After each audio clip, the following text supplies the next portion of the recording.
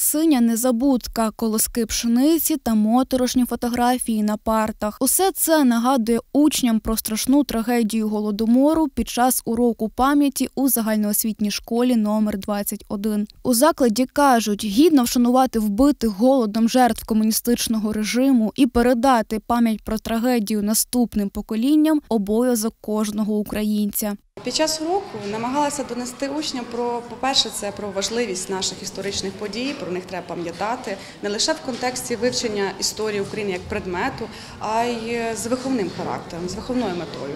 Тому що ми виховуємо наше майбутнє, ми виховуємо е, національно свідомих людей, свідоме покоління. Під час уроку учні 9 класу переглядали відео історії очевидців голодомору та групами працювали над страшними сторінками нашої історії. В маленьких очах було помітно страх та співчуття. кажуть, цей урок не пройшов безслідно, і кожен зробив для себе певний висновок.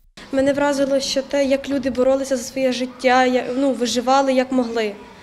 Е, Ну, їли все, що було, тому що в них все ну, позабирали. Вони їли коріння, зерно збирали, мерзлу картоплю. Потрібно пам'ятати, не забувати те, е, ту страшну подію, яка була на ті часи. Їх або просто закопували, або заматували в звичайну тканину і просто закопували. Цінуйте те, що у вас є зараз.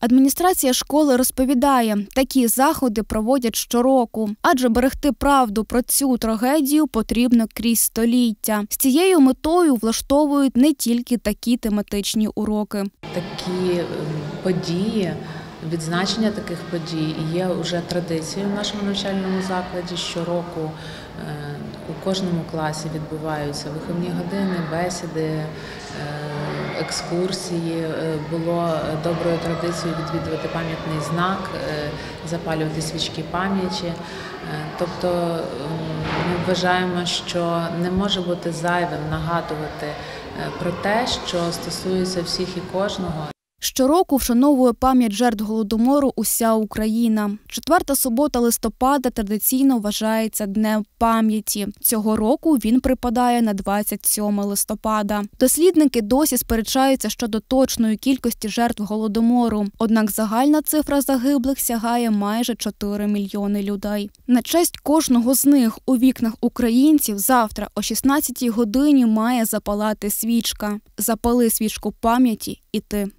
Катерина Волкова, Дмитро Половинка, телеканал СК 1